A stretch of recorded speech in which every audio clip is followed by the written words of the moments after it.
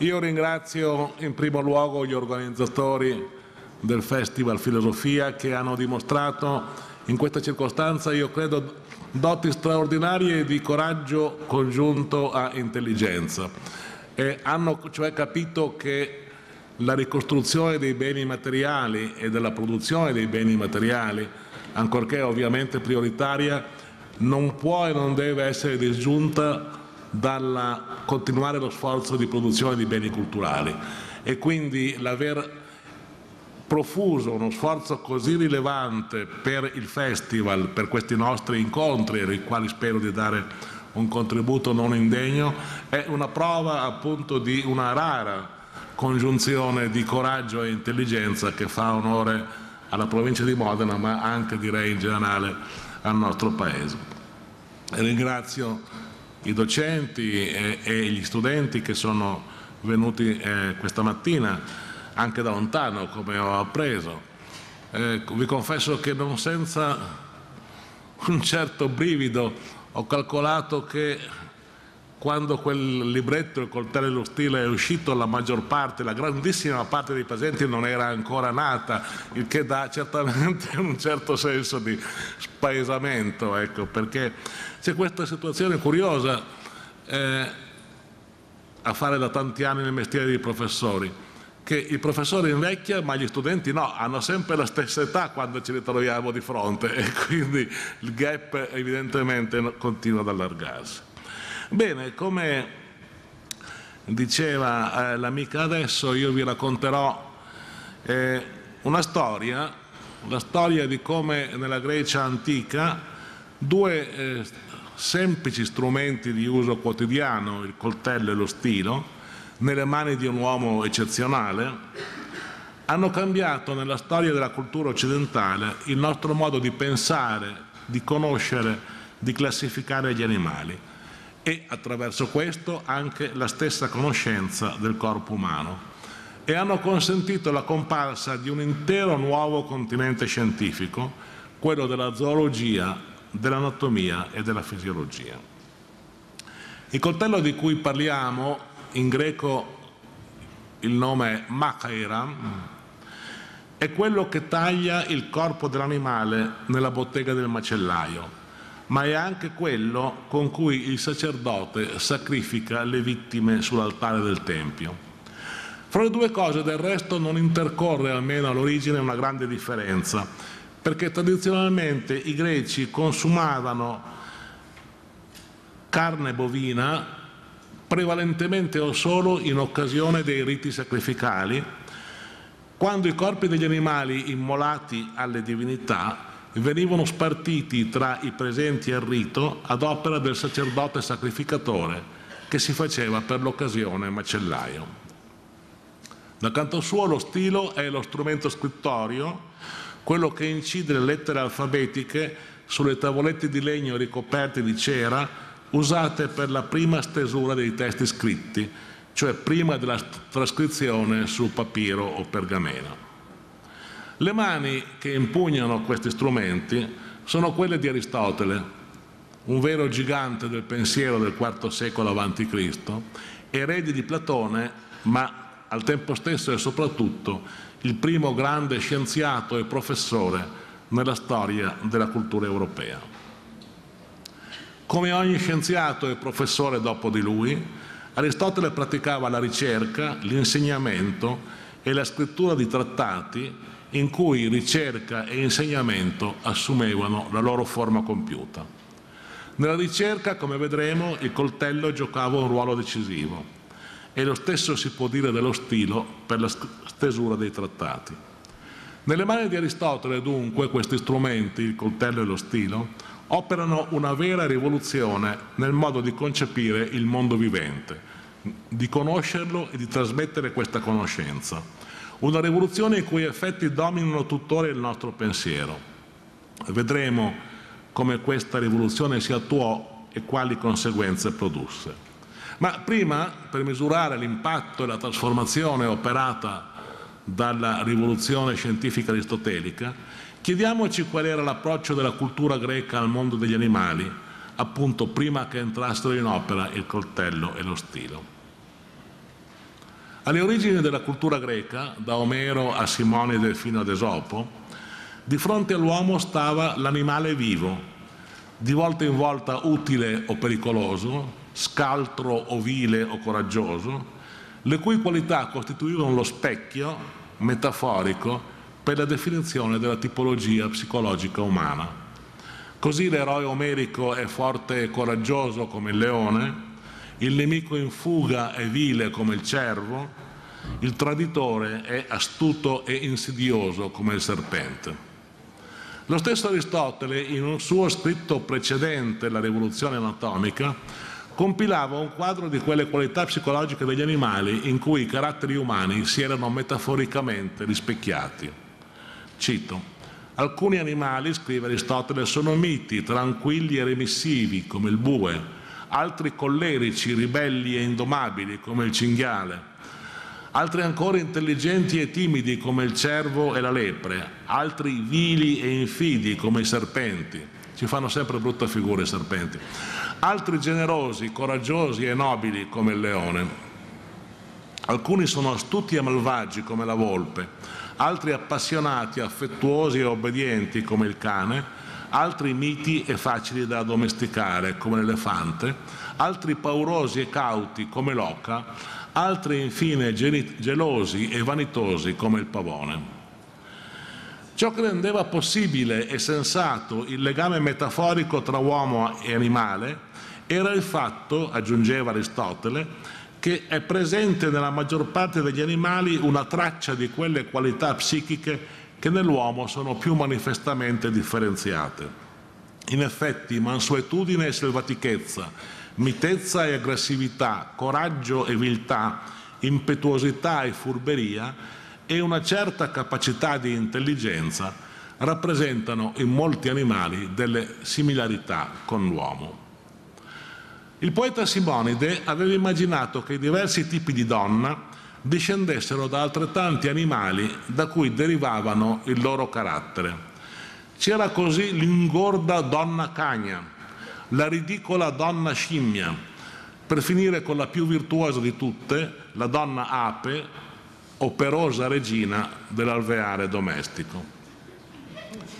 Secondo il mito narrato nel Timeo di Platone, invece, sono i generi degli animali a discendere dai diversi tipi umani. Così gli uccelli deriverebbero da uomini non malvagi ma leggeri, che parlano a sproposito delle cose celesti. I quadrupedi, appesantiti nel corpo e quindi reclinati verso terra, da uomini ignari della filosofia. I rettili dai più stolti fra questi uomini. I pesci, infine, dai più stolti e ignoranti di tutti, ai quali gli dei hanno tolto persino la facoltà di respirare aria pura. Quanto al genere semi-animale delle donne, sostiene non senza ironia il mito platonico, esso sarebbe disceso dagli uomini codardi e vissuti nell'ingiustizia. Noto che non tutto Platone, va detto in onore di Platone, è così drasticamente antifemminista e addirittura ginofobo come pare da questo passo che è tratto da un mito. Sappiamo che nella Repubblica Platone sostiene che in realtà le donne hanno le stesse qualità e le stesse capacità di governo e perfino di combattimento in guerra degli uomini, se adeguatamente educate. Ma questo è il mito narrato nel Timeo. La convinzione di una contiguità non solo metaforica tra psiche umana e psiche animale si spinse nella setta filosofica e religiosa dei pitagorici fino alla credenza che le anime degli uomini defunti potessero reincarnarsi nel corpo degli animali. Perciò i pitagorici proibivano sia di cibarsi di carni, perché vi vedevano una sorta di cannibalismo, sia di uccidere gli animali per qualsiasi ragione, non solo a scopo alimentare ma anche sugli altari sacrificali, per evitare un potenziale omicidio. Del tutto diverso da quello dell'immaginazione poetica, della mitologia dei filosofi, delle credenze religiose, è invece l'atteggiamento dei professionisti delle relazioni reali con gli animali. i cacciatori, i pescatori gli allevatori che uccidono l'animale per farne una merce, i macellai che ne spartiscono il corpo, i cuochi che lo preparano al pasto, gli stessi medici attenti all'alimentazione in vista di una dieta salutare. Tutti costoro sviluppano in modo embrionale elementi di un sapere che spezza il rapporto speculare fra uomo e animale, le affinità metaforiche, i transiti psicologici. La loro conoscenza degli animali, che ha in ogni caso finalità pratiche, non teoriche, pone gli animali stessi nella posizione degli oggetti da utilizzare, manipolare, sfruttare. Naturalmente questi saperi tecnici non assunsero mai forma scritta, salvo che nel caso dei medici, ma la loro traccia permane ancora negli appunti redatti da Aristotele, che appunto ai professionisti del rapporto con l'animale si rivolse per raccogliere il patrimonio di informazioni necessarie per la costruzione della sua zoologia scientifica.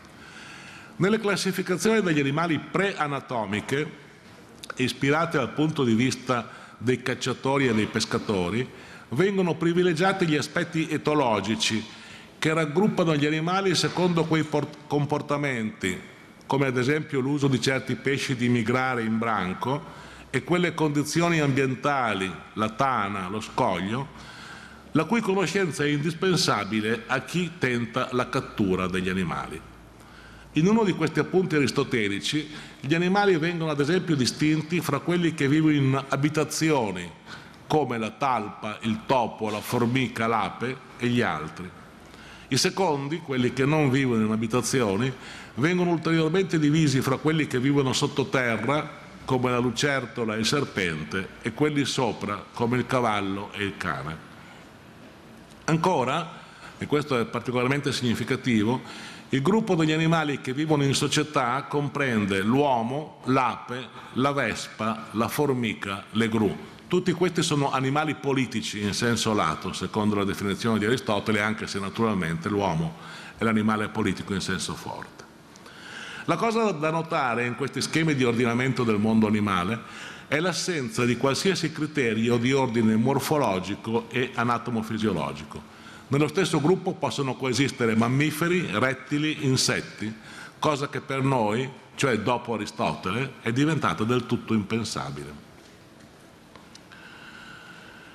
Nell'ambito della medicina del V secolo, la medicina che noi chiamiamo ippocratica dal, dal suo rappresentante più emblematico, più, più celebre, Ippocrate appunto, non si sviluppa invece, anche se questo può sembrare sorprendente, alcuna forma di conoscenza anatomica del corpo umano. Il medico ippocratico studia i fenomeni patologici a partire dagli elementi in ingresso nel corpo, cibi, bevande, aria inspirata, e da quelli in uscita, urine, escrementi, catarri, sangue. Ma all'interno del corpo resta una sorta di scatola nera cui il medico ippocratico non ha accesso e intorno alla quale non sviluppa conoscenze, neppure a partire da, dalla comparazione con gli organi degli animali, che pure sarebbe stata possibile anche prima dell'avvento dell'anatomia scientifica, grazie all'osservazione di quelli esposti nelle botteghe dei macellai. Anche questa esperienza, di cui i medici non si erano giovati, avrebbe invece contribuito alla formazione del grande edificio scientifico del nostro filosofo. Aristotele aveva infatti progettato la costruzione di un sapere enciclopedico sulla natura, nel quale naturalmente la conoscenza degli animali aveva un ruolo centrale. Questo progetto lo avvicinava molto di più agli specialisti dell'animale oggetto, pescatori, allevatori, macellai, che all'immaginario dei poeti e dei vecchi sapienti, nel quale l'anima dell'uomo si specchiava nel suo riflesso animale. Aristotele frequentava dunque i banchi dei pescatori, soprattutto durante il suo soggiorno a Mitilene. Da essi apprendeva notizie sui modi di vita degli animali marini, per esempio sull'intelligenza dei polipi, sui loro modi di riproduzione, come ad esempio la notizia che le femmine di squalo partorivano piccoli vivi anziché uova come gli altri pesci, sulla loro struttura interna, ad esempio sulla singolare simmetria pentamera anziché bilaterale del riccio di mare. Ed era altrettanto assiduo delle botteghe dei macellai. Qui poteva osservare gli organi interni degli animali, come i polmoni, il cuore, il fegato, i reni, derivandone tra l'altro, cosa che i medici non avevano fatto, preziose conoscenze anche sull'organismo umano. Se dunque il grande filosofo in modo del tutto inconsueto per i suoi successori nella tradizione filosofica occidentale. Era per questo aspetto molto vicino agli umili operatori del porto e del mercato. Egli se ne differenziava poi per una ragione decisiva. L'interesse di tutti costoro era esclusivamente pratico. Lamentava Aristotele, nessun pescatore osserva alcun fatto per amore della conoscenza mentre la sua attenzione per la vita e il corpo dell'animale aveva fini esclusivamente teorici, appunto la costruzione di un sapere finalmente e davvero scientifico sulla natura. La conoscenza scientifica dell'animale esigeva infatti, secondo Aristotele, procedure specifiche e del tutto diverse da quelle dei pescatori e dei macellai. C'è un passo nel trattato zoologico del filosofo che ha un significato davvero epocale. Si tratta di un'importante questione, il percorso delle vene nel corpo umano e animale, che aveva interessato da tempo naturalisti e studiosi di medicina, senza che si giungesse ad alcuna conclusione soddisfacente. Vi leggo le memorabili parole di Aristotele. La causa di questa ignoranza sulle vene risiede nella difficoltà di compiere osservazioni su queste parti. Negli animali morti, infatti, la natura delle vene principali non è evidente perché sono soprattutto esse a cedere non appena ne sia uscito il sangue. Negli animali vivi, poi, è impossibile osservare l'assetto delle vene perché esse sono naturalmente poste all'interno.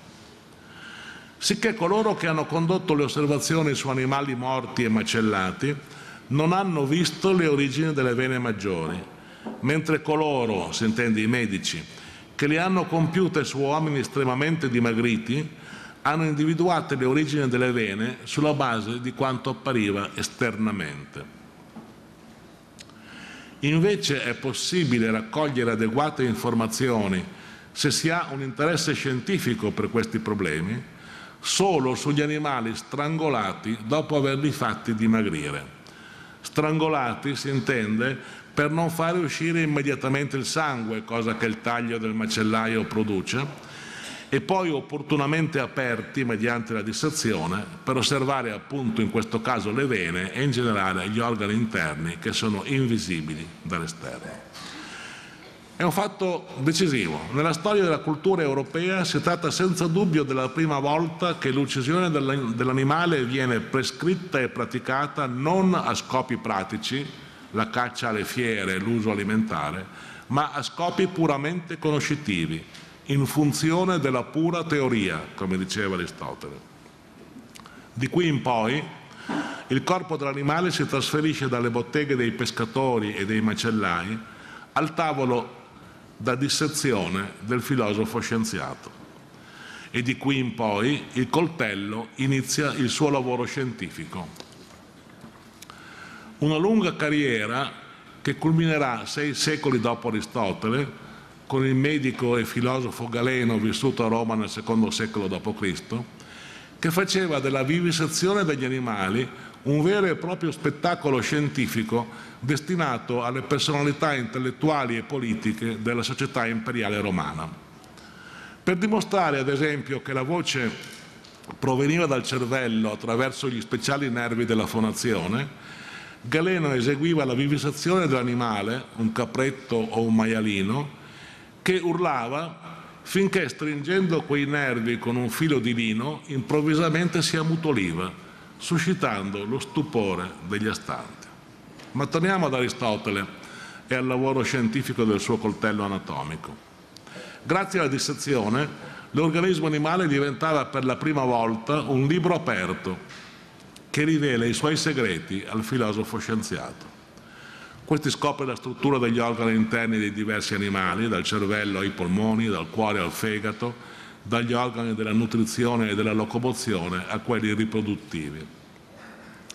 Il corpo degli animali, una volta uccisi e aperti ai fini della conoscenza, si rivela come una struttura integrata meravigliosamente adatta a svolgere le sue funzioni vitali. Notate questa contraddizione che sarà poi su quale tornerò. Per comprendere la vita è necessario passare attraverso il cadavere, c'è questo rapporto paradossale che l'anatomia istituisce tra la vita e l'uccisione. Ogni organo è destinato a una precisa funzione. Questa funzione spiega la struttura dell'organo e a sua volta questa struttura è leggibile come un dispositivo di precisione per l'adempimento del suo compito nell'ambito dell'organismo.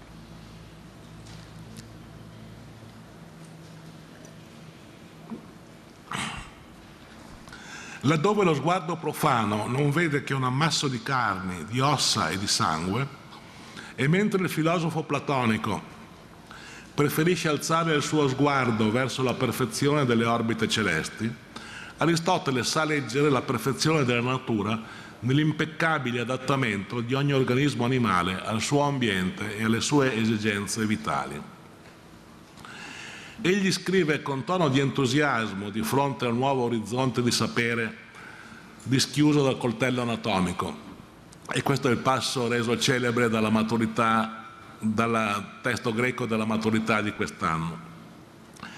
Perfino circa quegli esseri che non presentano attrattive sensibili, tuttavia a livello dell'osservazione scientifica, la natura che li ha foggiati offre grandissime gioie a chi sappia comprenderne le cause, cioè sia autenticamente filosofo. Non si deve dunque nutrire un infantile disgusto verso lo studio dei viventi più umili. Ci sono naturalmente nella pionieristica anatomofisiologia di Aristotele erro, errori che i suoi successori, muovendosi nel solco da lui aperto, avrebbero corretto.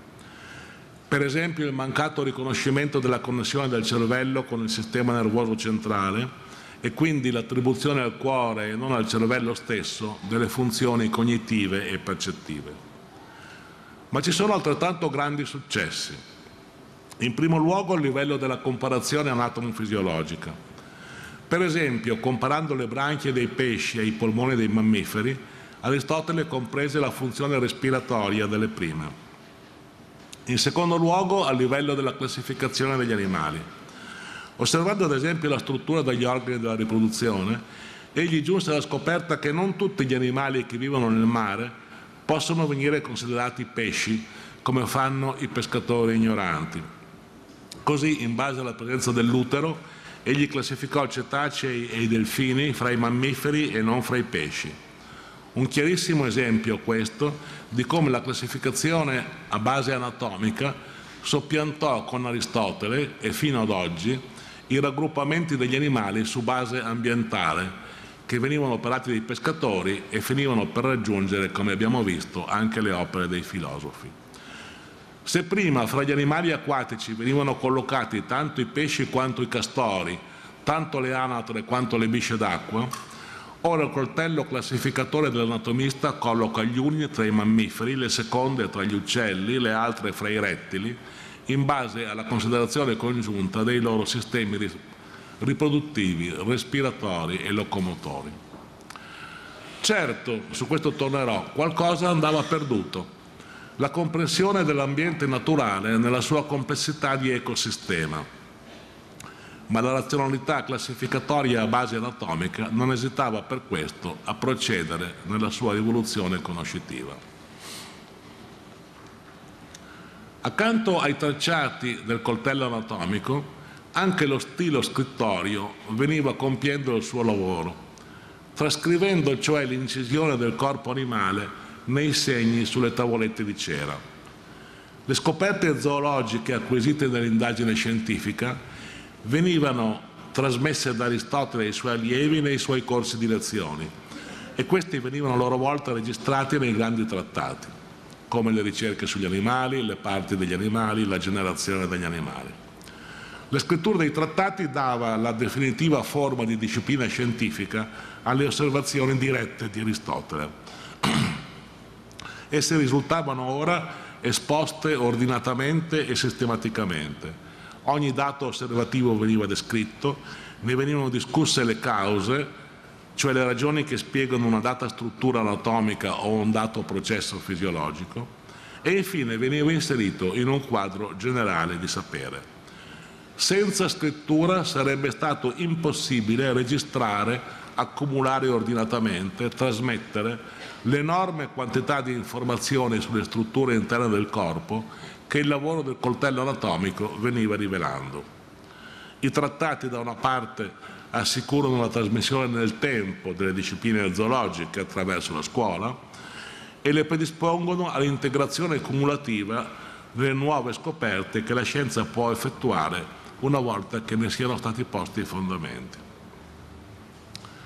Inoltre i trattati assicurano l'integrazione delle discipline nel campo della grande enciclopedia del sapere progettata da Aristotele. Vediamo il piano complessivo di questa enciclopedia nelle parole iniziali dello scritto sui fenomeni meteorologici. Scrive Aristotele ricapitolando il percorso del suo lavoro scientifico si è trattato precedentemente delle cause prime della natura e di ogni movimento naturale e questo è nel trattato che si chiama fisica. Ancora degli astri ordinati nella traslazione superiore e degli elementi corporei e questo è nel trattato che si chiama sul cielo e dei loro reciproci mutamenti, infine della generazione e corruzione in generale e questo è nel trattato che si chiama generazione e corruzione. Rimane ancora da esaminare la parte di questa ricerca che tutti i predecessori chiamavano meteorologia e questo accadrà nel trattato di cui le stiamo leggendo la pagina iniziale. Dopo aver trattato questi fenomeni dovremo esaminare se ci sarà possibile spiegare, secondo il metodo già indicato, i problemi relativi agli animali e alle piante in generale e in particolare. E con questa ricerca si sarà pressoché concluso il programma che ci eravamo assegnati fin dall'inizio. Non si può leggere questo straordinario progetto scientifico, esposto con un'altrettanto straordinaria sobrietà, senza provare una certa emozione intellettuale, perché ci troviamo di fronte all'atto inaugurale dell'idea di una enciclopedia delle scienze nella tradizione intellettuale europea.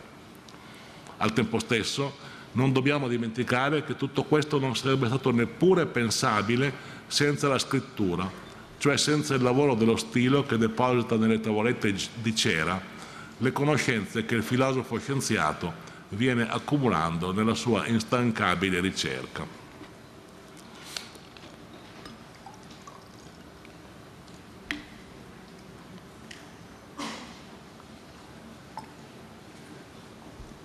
Il coltello e lo stilo, dunque, ha le origini della nuova conoscenza anatomica e fisiologica del corpo animale, ma la loro efficacia si farà presto sentire fuori dall'ambito della zoologia e trasformerà la stessa conoscenza del corpo umano.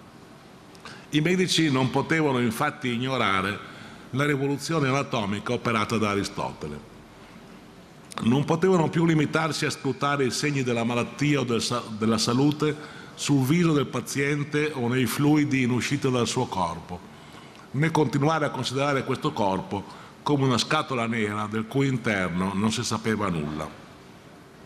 Infatti, pochi decenni dopo la comparsa dei trattati aristotelici, all'inizio del III secolo a.C., i grandi medici anatomisti di Alessandria, Erofilo ed Erasistato, Grazie all'ambiente del museo che favoriva la ricerca scientifica, furono messi in grado di praticare la dissezione sui cadaveri umani, fino ad allora vietata per motivi religiosi, e in certi casi persino, anche se questo può suonare raccapricciante, la vivisezione umana.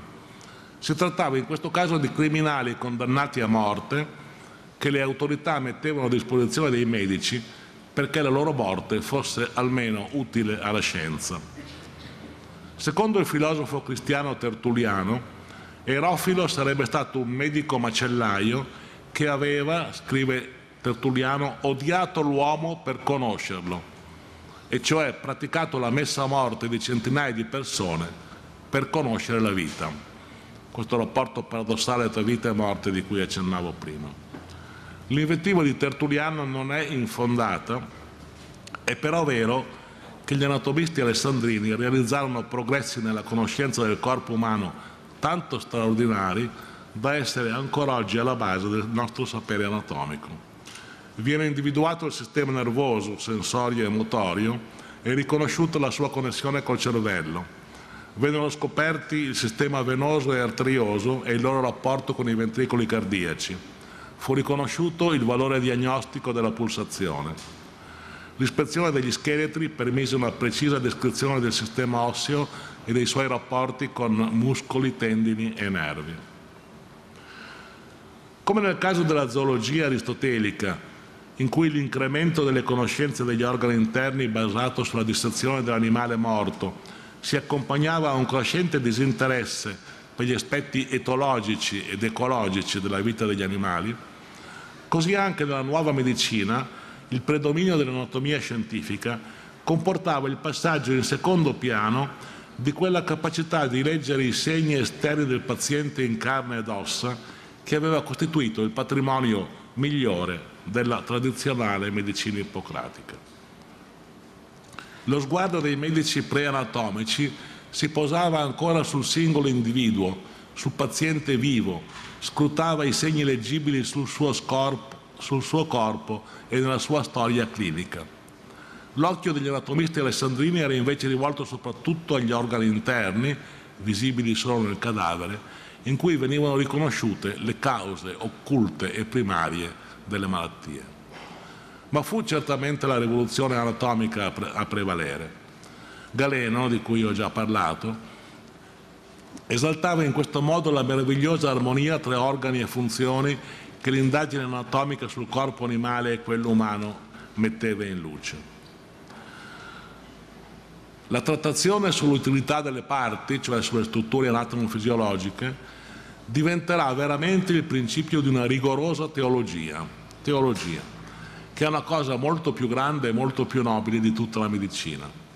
Essa sarà utile non solo al medico, ma molto più che al medico, al filosofo che si sforza di acquisire la conoscenza di tutta la natura. A questi misteri, io credo, devono essere iniziati tutti gli uomini che onorano gli dèi, tutte le nazioni e tutti i ceti, misteri che non hanno nulla di simile con quelli di Eleusi o Samotracia, misteri razionali, misteri che la scienza può rivelare, misteri che possono portare alla costruzione attraverso la scienza di una teologia rigorosa e non superstiziosa o mitica.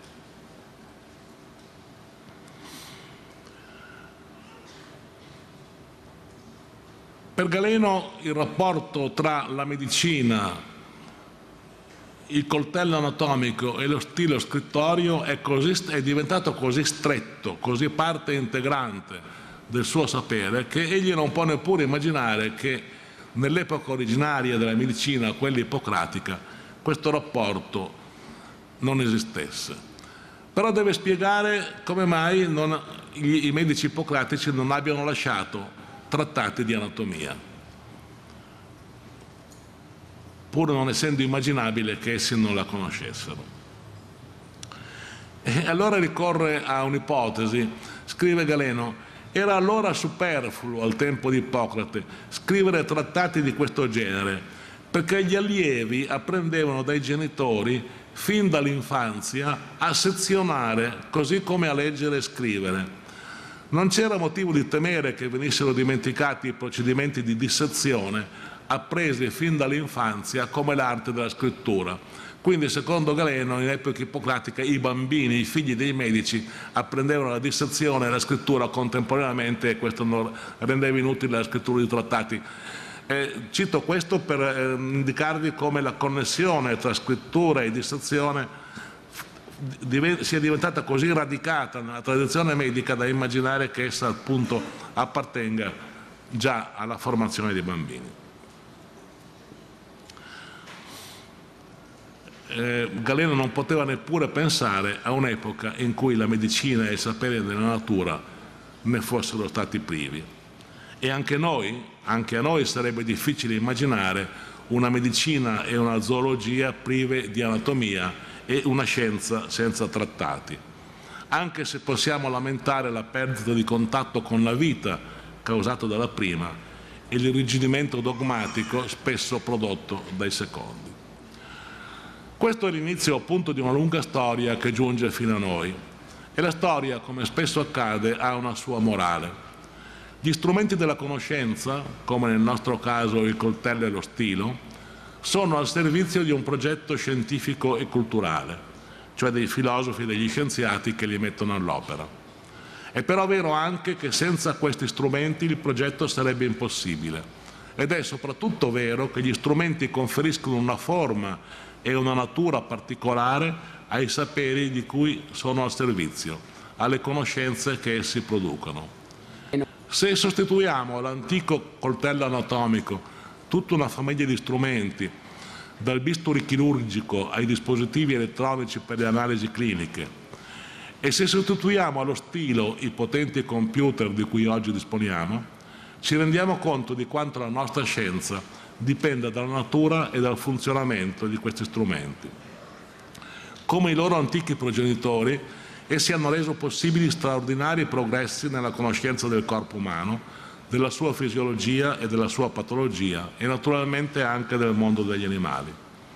Ma ancora una volta qualcosa è andato perduto. La capacità del medico di vedere la persona del suo paziente con la sua storia, la sua vita, i suoi problemi, al di là delle schermate che danno i risultati delle analisi cliniche effettuate e anche la nostra capacità di guardare al mondo degli animali con quella simpatia, quella prossimità speculare, quella meraviglia incantata che aveva un tempo lo sguardo dei poeti e degli antichi filosofi. Tornare indietro non è né possibile né augurabile. È invece possibile e augurabile essere consapevole degli effetti prodotti dall'intreccio della conoscenza e dei suoi strumenti, per conservare i guadagni conquistati senza subire passivamente i costi intellettuali che essi hanno comportato. Grazie per l'attenzione.